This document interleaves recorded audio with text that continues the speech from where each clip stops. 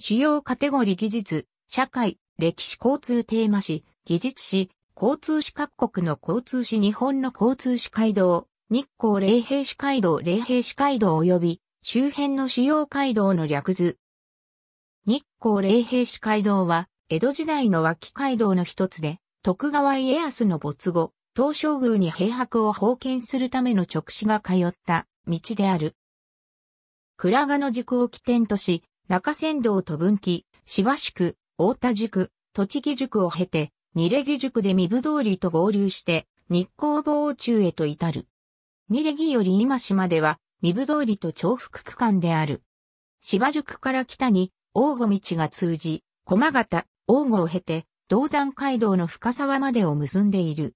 堺宿、木崎宿間で、銅山街道と交差し、大田宿で南に古土道、北に、気流道が通じている。天明宿から南に、立林道が通じ、立林を経て、中山道の河野巣宿までを結んでいる。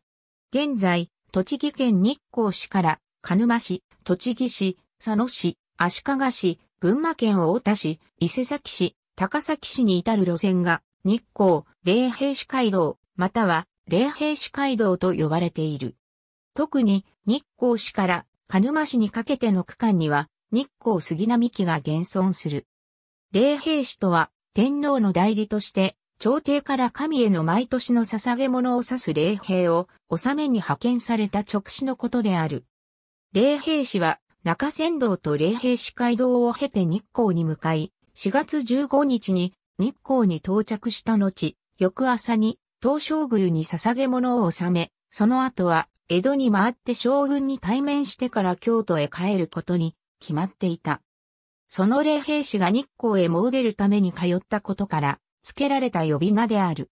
倉賀の宿玉村宿五両宿、五両石諸芝宿堺宿木崎宿大田宿八木宿、柳田宿天明宿犬伏宿戸田宿栃木宿、合戦場宿金崎宿にレギ宿那佐原宿鹿沼宿、不馬佐美宿板橋宿今市宿現在、以下の栃木県日光市今市から群馬県高崎市倉賀野間の路線が日光霊平市街道ないし、霊平市街道と呼ばれている。